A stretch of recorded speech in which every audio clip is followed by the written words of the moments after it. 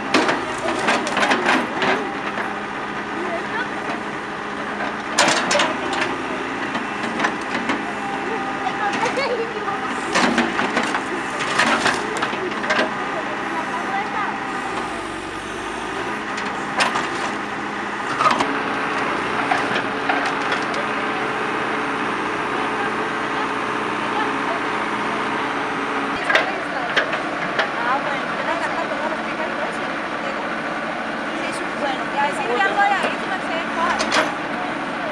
plan de desarrollo Todos Somos Facatativá, el que emprendamos este proceso de reubicación de las familias que están en zonas de alto riesgo y sumado a ello, desde luego, la orientación impartida por el Presidente de la República eh, en atención también a ese compromiso de nuestra Policía Nacional y hoy, eh, en sintonía con nuestro plan de desarrollo, emprenderemos este proceso para lograr lo más pronto posible tener las viviendas para reubicar a estas familias. Vamos a tener nosotros presencia permanente de la policía, son viviendas, como el señor alcalde, son viviendas, viviendas que amenazan ruina y que son utilizadas también para el consumo de sustancias alucinógenas. ¿Qué nos hace falta a nosotros? Simplemente decirles que aquí está la autoridad y vamos a liberar esto de todos los habitantes de calle que tenemos nosotros acá en el sector. Sí, efectivamente, en cabeza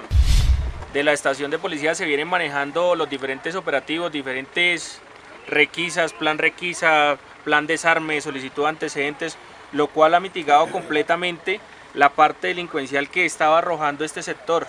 donde se han realizado capturas, donde se ha vuelto